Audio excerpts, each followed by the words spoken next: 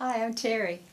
Welcome to Memories and Moments, an ongoing series presented by the Historical and Heritage Society of Key Biscayne. I recently took a stroll down Crandon Boulevard, reminiscing through time with Councilmember Mort Fried. I was able to visualize Crandon Boulevard through his eyes, as it was in the early 1950s. Please join us. Okay, Morty, now we're in front of the Calusa Playhouse. I understand it has quite a history. Yeah, it goes back. It goes back to the old coconut plantation that is now where Key Colony is built. That was the seven, the nine-hole modified golf course, Uh huh. and it was the dining room for the workers in the coconut plantation.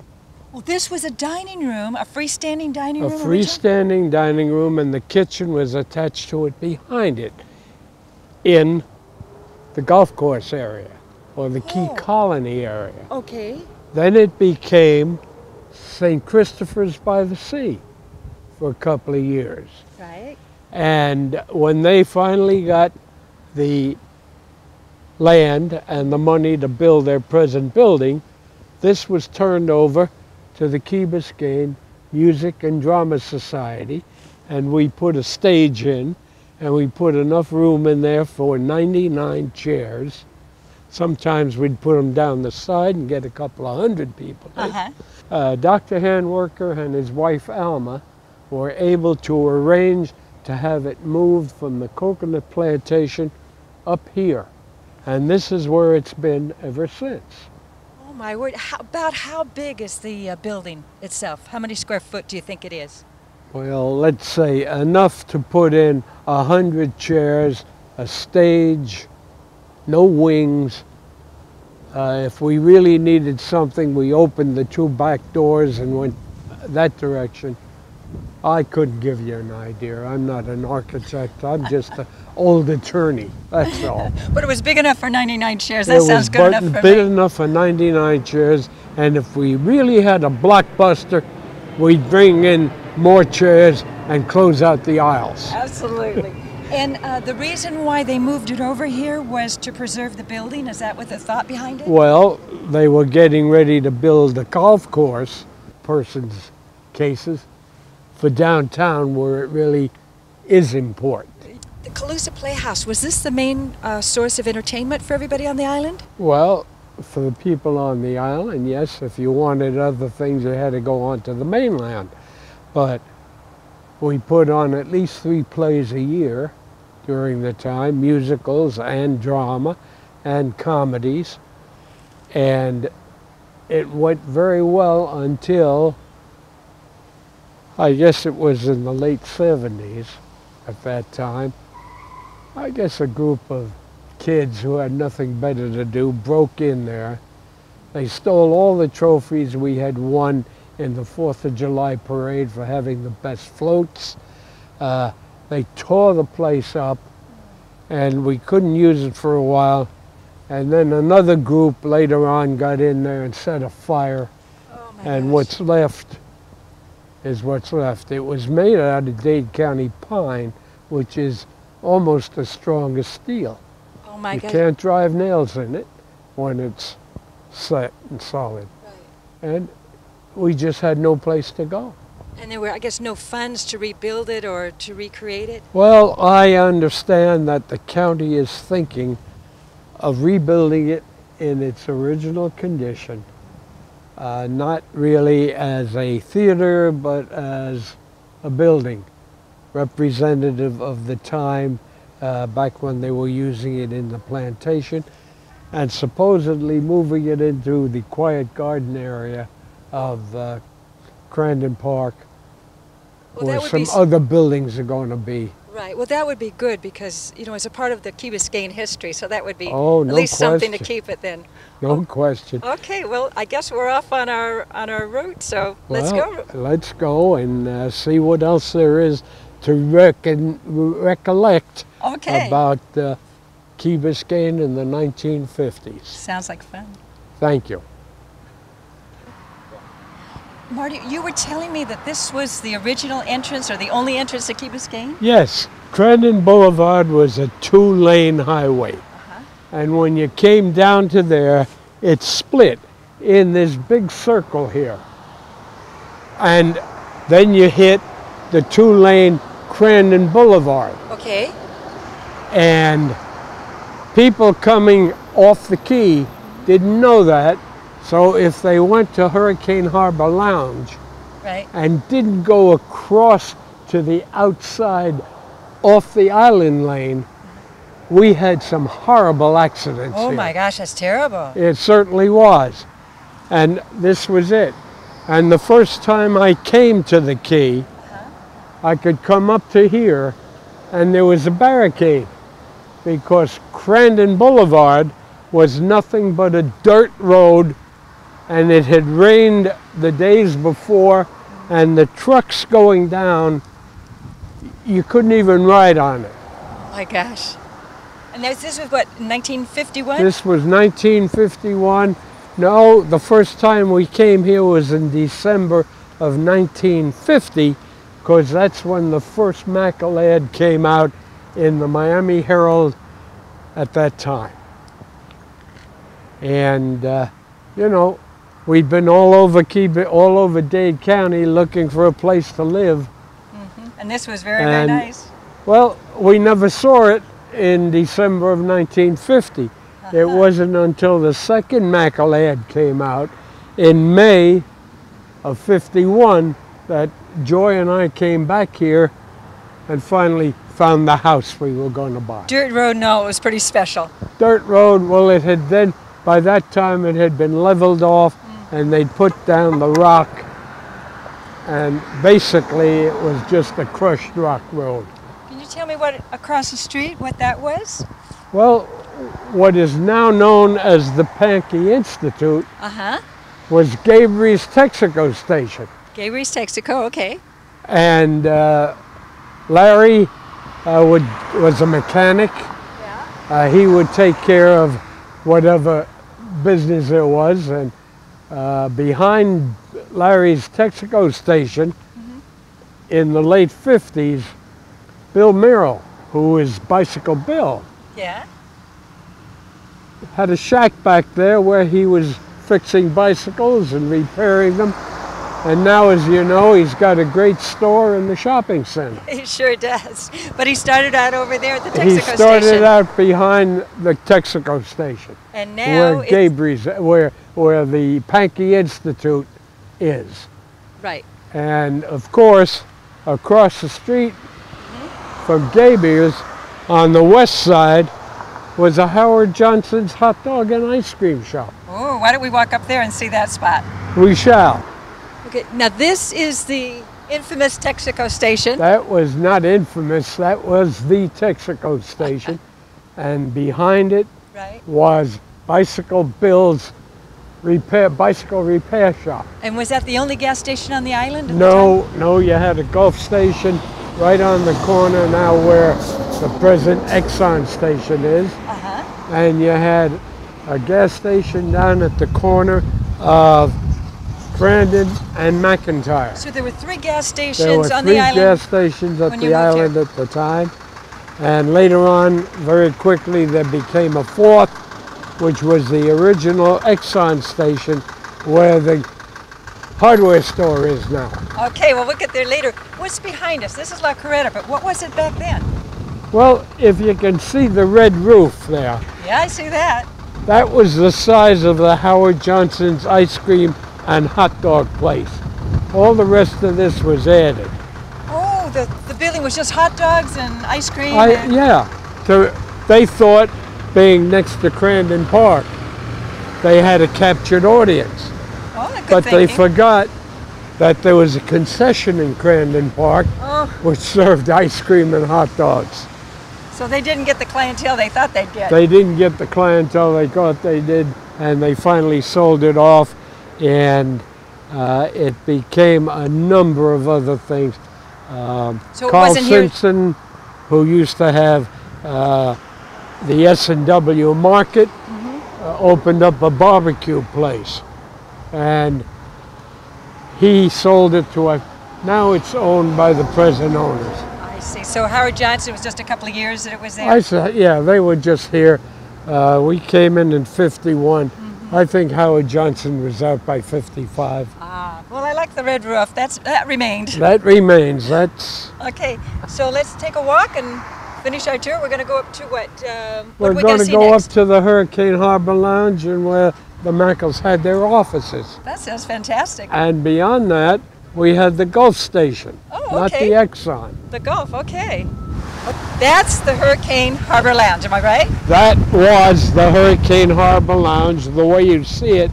The only thing I believe that was changed was that top facade. But it's the same building. Is that It's what the saying? same building, the same depth. Great. On the corner here and down where the uh, liquor store was, Yeah. they were the original Mackle construction offices. Oh, Then the liquor store became the infamous Key Biscayne Lounge. Don't walk up to the door at night because somebody was getting knocked out of it. oh my goodness. Oh, it was a great place to go. Charlie Samuth was the piano player in there, Yeah. and we used to have music every night to accompany the fights. Oh, the fights. and of course, you weren't there, right? You just observed. I just observed. You're just an observer of it. I didn't get my broken nose from in there. I had it up before That was that. someplace else.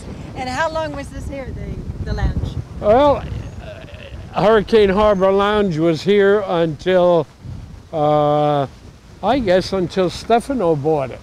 Oh, okay. So it's many, many years, I guess. Oh, yeah, quite a number of years.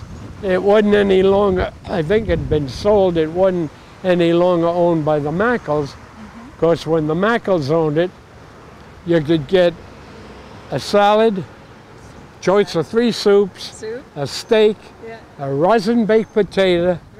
Dessert, and coffee Okay, for how much? for the much? ridiculous expensive price of $4.95. Oh my gosh, where are they now? Years gone, years gone. Morty, you were telling me that um, this was a gas station here, but it wasn't this discount gas. What was it? No, it was a Gulf gas. Gulf gas. And that's where the construction ended Uh-huh. until you got down to McIntyre. Everything behind this was mangrove. Oh my gosh. And this is the original building of the Gulf Station? This is the original building.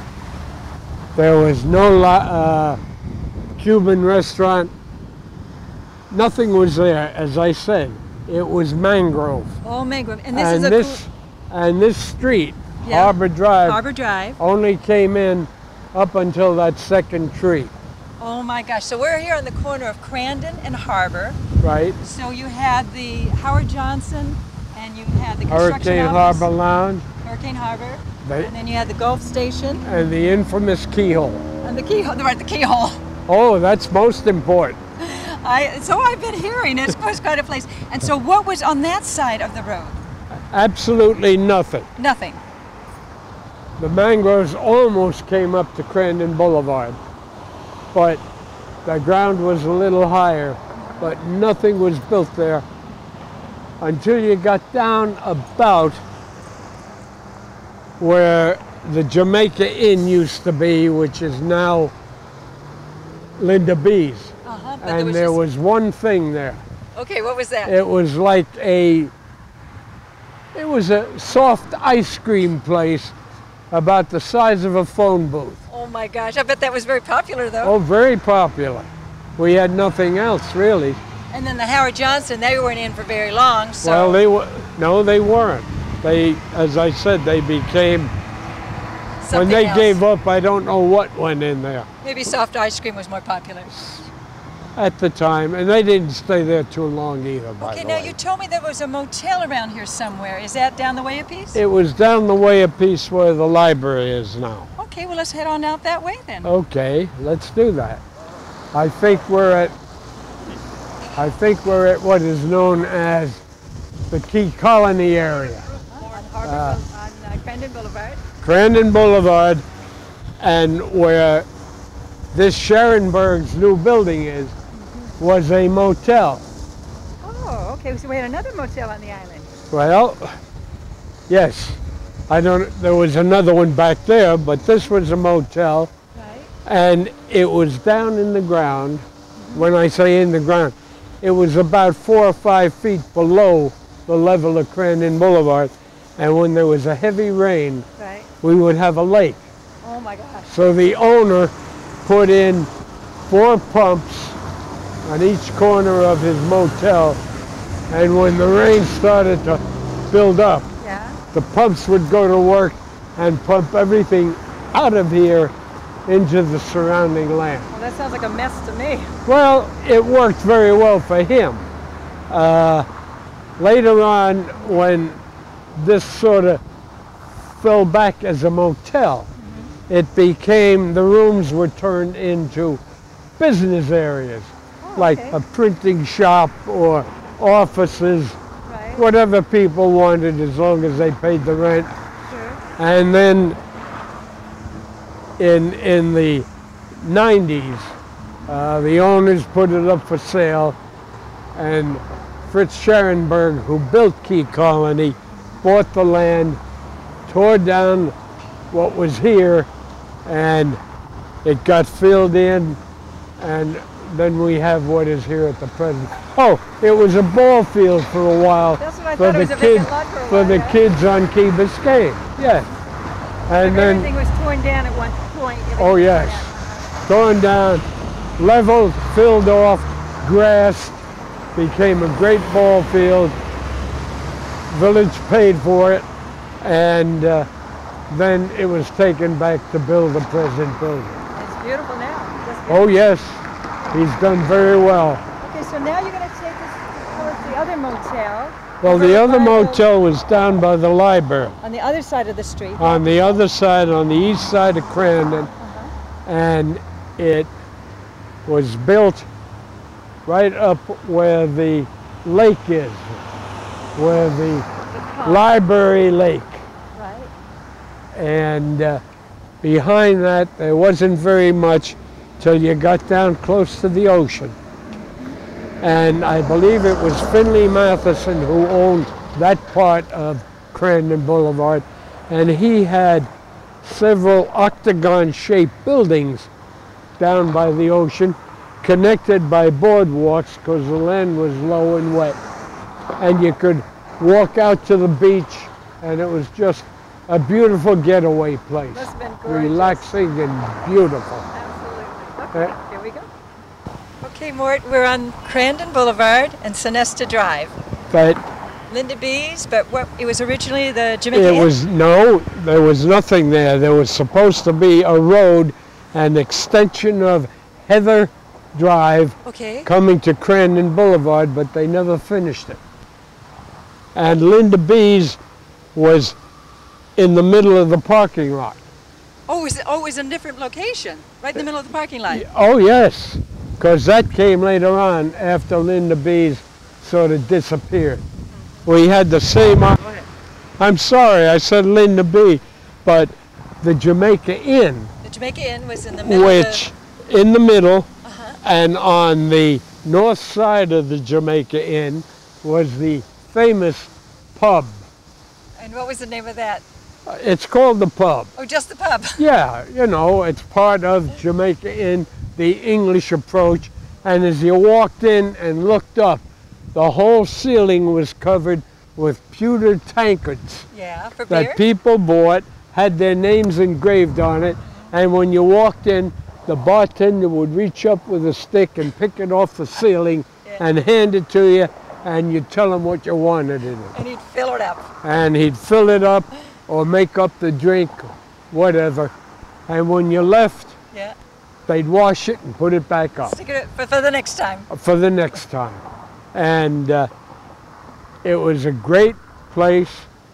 They had uh, delicious steaks, uh, much less expensive in the pub than in Jamaica Inn, but it was a great place to meet and uh, have fun. And the Jamaica Inn was the main restaurant, and then the pub was uh, The like pub the was side. the pub was on the side, but I think the pub was important to the residents of Key Biscayne, where Jamaica Inn was the destination of the people off the island. Oh, I understand. It was more of a hangout place for everybody. It was a hangout place for us, beside the keyhole, which is down the road a bit. down the road. What happened to the building? It got destroyed at one time or torn down, I guess? It got torn down. It was changed from Jamaica Inn, an English type, into a Spanish Mexican type mm-hmm. restaurant, which didn't go over, right. and Then it evolved into the shopping center, I imagine. it evolved into this that we have, and what is now Linda B's. Okay, so between here, the old Jamaica Inn, and heading south on Crandon, what was the next stop? Was there anything? No, the, the way? next stop was the gas station on uh, McIntyre and Crandon. Nothing in between. No. Uh, mangroves? Was there just dirt? Uh, Well, the mangroves hadn't come all the way up here. As I said, this was uncapped high ground. Untapped high ground. Well, high ground is important because it is an island. Right. We're, we just passed the village green. Uh, what was there's something important about the village green? What was it? A coconut plantation or something? on Well, the whole nine and a half acres there? was vacant. The south three acres right. was the coconut plantation that they got agricultural zoning on. And the north end was just commercial that paid very expensive taxes. And the property was owned by Mr. Rebozo and a gentleman by the name of Athelknapp. Uh-huh. And it so happened that Bebe's main portion of the property was the south portion where the agricultural zoning was. He did pretty well with that one then. Well, you know, he was a pretty sharp businessman. I give him all the credit for taking advantage of every angle he could, And I bet it was beautiful. legally. Well, that's true. I bet it was beautiful too with all those coconuts. Uh, well, With the they never really got high. I mean, he put them in there, they were just nothing. And I guess they may have been eight to 10 feet at the time, if that high. But it was considered agricultural, and that's what happened. And how long was it a coconut plantation? Well, until the village bought it in uh, 1993 and made the village green out of it. Oh, for several years then. It was like Oh yes, oh yes. it was. And it was put up for sale in 90 and I was coming to a village meeting, the second council meeting of the village, and as I passed the square and the galleria, there were nothing but empty stores. And I looked at that coconut plantation and I said, they want to sell this for more of what we have that's empty. So I went to the meeting and I said, Council, I suggest the village buy the Rebozo property. Good suggestion. I was backed by Joe Rasco, who seconded it, and the council bought it unanimously. And rest And in 94, we got it. All right. Hmm. Okay, we're at the corner of Crandon Boulevard and McIntyre. Yes, This was what, a gas station? this was a gas station. I forget the original owners, Tony and John were the original owners. And then John left, Tony took it over, and then a real estate man named Jerry Clark took it over. And then it was finally sold to Tony, who kept it for a great number of years. And he was getting ready to leave the island. He put it up for sale, and the village bought it to tie it in with the village compound here. Oh, The fire department, the administration building, the community center. Oh, okay. I hope it'll be a quiet garden for adults. We have taken care of the children with the village green Mm-hmm. and St. Agnes and God knows what all. We need a place for people like me to sit down and play dominoes or checkers or just talk in a beautifully designed and landscaped corner. Sounds good to me. Now, if we cross the street here, Okay. Originally, it was blank land. All you this know, was blank, just just empty just, land. Just empty land. Then along came Chief, Chief Harmon, who was down in the shopping center. His Chief, wife, Chief sea, Seafood? Chief Seafood, Oh, okay. which was Chief's bait and tackle shop. All right. and he ran that for a number of years. And then the land got into Bebe's hands, Bebe Rebozo. Bebe Rebozo, and he built a gas station. And later on, it became a Cuban restaurant. the gas well, station became a Cuban restaurant. The, the gas station was there, yeah. but the Cuban restaurant became more important. Oh, okay. And then in, well, after we bought the Village Green, mm-hmm. we decided we were going to put our community center here, and we purchased that three and a half acres from the Rebozo's estate for uh, three and a half million dollars. that was a good investment, I think. Oh, it certainly was. Of course, that cost them nothing. The Village Green ran about $100,000 when he bought it, and he sold it for nine and a half million. Oh, my So word. that's a pretty good investment. I would say so. And uh, there was nothing west of here at that time. Absolutely nothing. They were starting Island House. And there was a building there showing the apartments, a model and a Right, sales like a sales center. Right. But Other than that, nothing, nothing, else. else here uh, except for Finley Matheson's octagon buildings down by the ocean. We've come a long way, haven't we? Oh, we've come a devil of a long way with a lot of arguments, a lot of controversy, but it all ended up with beautiful Key Biscayne. That's the most important. That's the most important.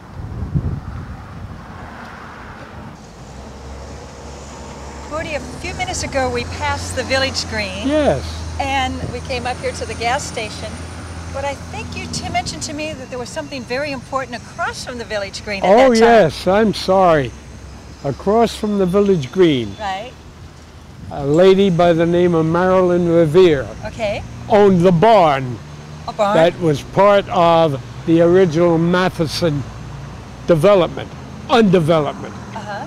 which was in front of the workers' uh, eating place Uh-huh. and kitchen.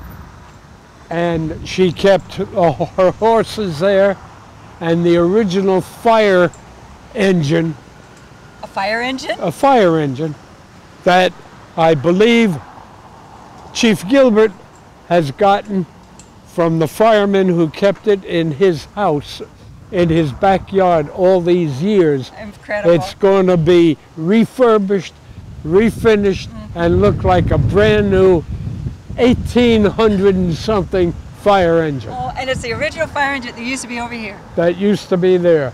And behind where where the dining room was, mm-hmm. behind that there was a building that became the Little Island Playhouse, where mothers used to take their kids to leave them and they could go off the island shopping or work or whatever they wanted to do. Oh, like a little daycare center. Like a little daycare center. Well, that's yes, important to have. we were right up on it at that time, you know. Sure you were. I wasn't, but they were. and I don't know, there wasn't very much in this area. The beach club had come into existence by that time. Okay. That was given by the Mackles in, I believe, 1951. Their corporation was called the Rory Corporation that owned that land. and that was a gift to the village. That was a gift to the homeowners. to the homeowners. You had to be a Mackle homeowner in order to become a member of the beach club. Over the years, that has dissipated. The Mackles owned a motel down at the southern end of the island, where um, CVS Pharmacy is now, okay. or where that group of uh, uh, condominiums beyond the uh, CVS and that was owned by the Mackles, and they had seven uh, permits to get become members of the beach club. Oh, that's good. Well, it was a seven, that's Mackle. It was a. Mackle development. They re, they defended their position. Um, other than that, the Key Biscayne Hotel uh, was being built. The only thing when I came was the northern. Um, I forget what you call. it. They were rooms Right, okay. like Silver Sands is today. Just one story or two story, A single, single story, like a motel type. like a motel. and yeah. was the Silver Sands there then also, or did that come later? that came a little later. okay. That came later.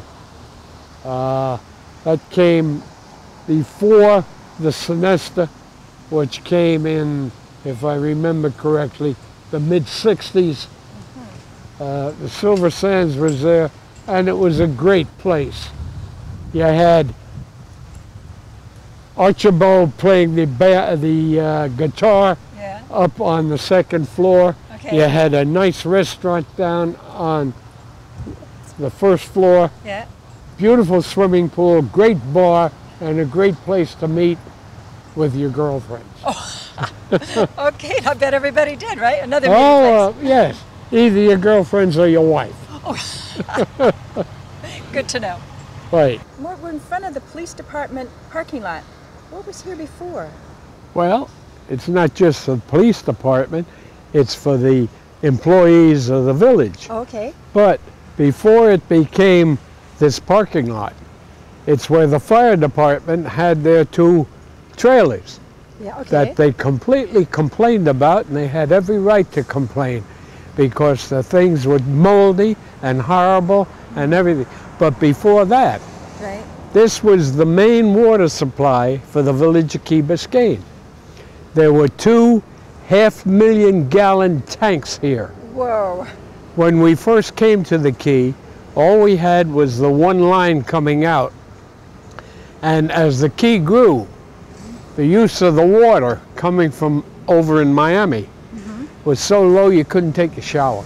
Oh my gosh, that's terrible. We complained, Right. and finally the water department decided the way to do it was during the night they would fill the tanks, and during the day we would take advantage of them. You had lots of water then. We had enough water to go until they put in new lines and bigger pipes. How high were the tanks above ground? Oh God, they must have been top of that tree. Pretty big then. Oh yes, huge. And were they on stilts or was the No, the they were on the built right on the ground. Right, even with the ground. Yes, ma'am. And up. then just big green round monsters just rising up that high. And all full of fresh water for our All full of fresh water, a million gallons. That's a lot of water. You. Where are we? We're at the. We're at. Crandon Boulevard and the shopping and, and the old shopping center. Okay, go ahead. Now we're at the shopping center on Crandon Boulevard. It's, um, I guess you, people will now call it the Winn-Dixie Center. Now you're telling me that this center was here when you first moved here in the When 50s? I first moved here, it went from what was Vernon's Sundry Shop, not drugstore, Sundry shop. Vernon's Sundry Shop, Okay, up here to the Kai's Company. okay. And, and, And that's all there was? That's all there was. All the rest of this came a bit later, and the far north piece came in. Well, when when, when Dixie when when Dixie moved in, which was in uh, the late '90s, I think. Okay, what were the businesses that were along here when you first moved in? Well, as I said, Dick, uh, Harry Vernon, Dick and and Harry's father. Opened up the sundry shop, waiting for Dick to graduate from the University of Florida drug school to become a druggist. Next to that, I think that was Chiefs, was it? no, no, Chiefs was somewhere entirely different. Uh, well, let's let me think.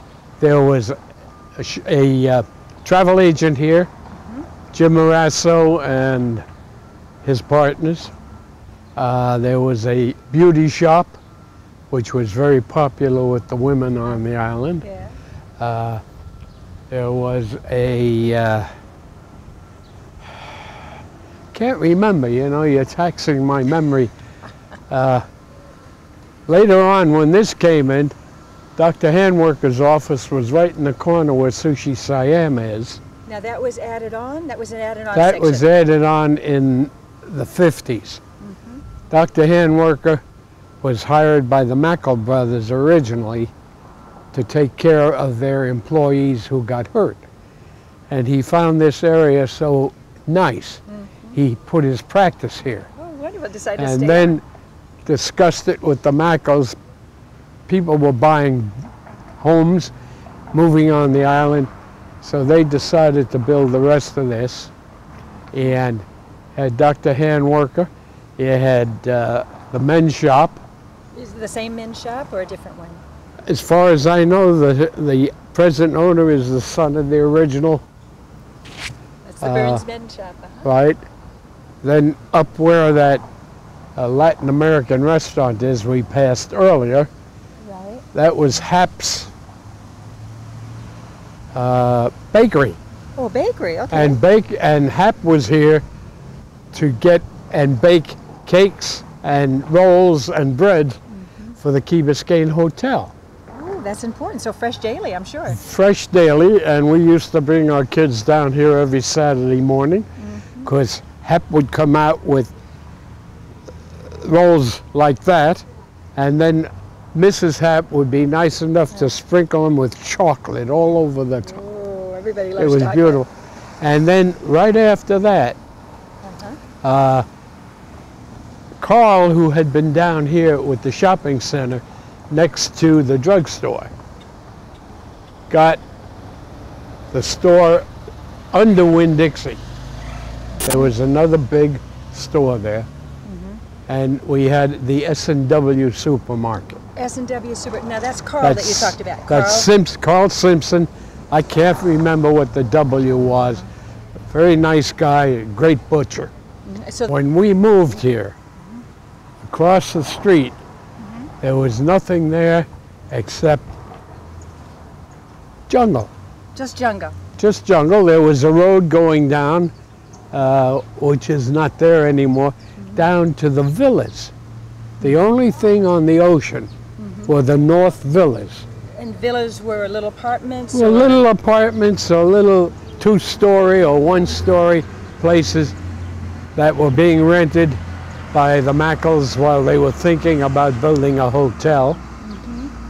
Kids, all the kids in the island used to go in there and get lost. Oh my God! And that's what now is Ocean Club. Now is Ocean Club and uh, Park, yeah, all Ocean Club, because that was all the um, Key Biscayne Hotel property. Understand. But originally, when you came here, it was just all raw land with just Oh, oh, vegetation. A lot of vegetation, beautiful pools that had been built sometime, I guess, by the Mathesons uh, with tropical fish. Kids used to have a ball in there. Then they decided to build, I think, the South Villas came the next group, and then they finally built the Key Biscayne, the old Key Biscayne Hotel. And was that a very big hotel, the Key Biscayne Hotel? Well, at the time, it was considered very big. I can't remember how many rooms, but if I remember, it was like four or five stories. Uh, swimming pool, tennis courts. This was here. It was here. Yeah. This was here, not unisex though. the travel agency was here. I can't remember. No, that was uh, jewelry came in later. What was that original? This was the original market, the S&W market. Oh, okay. Carl Simpson and his buddy, Right. and that's it.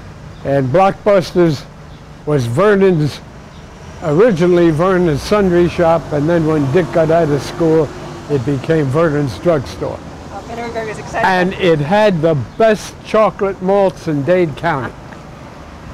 That's good to know. Oh yes.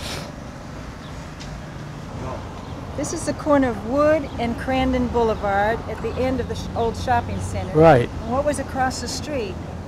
Our one uh, supermarket, Carl's, which was a chain in Dade County, and then it became Pantry Pride, Pantry Pride. And. I forget what else, and then it finally ended up as it is now, CVS. I think it was Hyde Park there for a while. It- it may have been. ago. It may have been, I have no And now it's recollection of that. CVS. And these came in, oh, before CVS came in. Um, of course, uh, Sir Pizza was there forever. Oh, that was there even when it was the Carl's Market. Oh, yeah, yeah. That must be an old chain then. No, it's, yeah, they have one here and they have one up in St. Lucie and they have uh, one or two in Indianapolis. Uh, and it was run by uh, the Swartz family. Oh, all right. Wendy and Barbara Swartz and Wendy, So you had Uh, the grocery store, then you had the pizza parlor, Parlor. next door. and we had a uh, dry cleaner in the between the two of them. And Oh, that's important.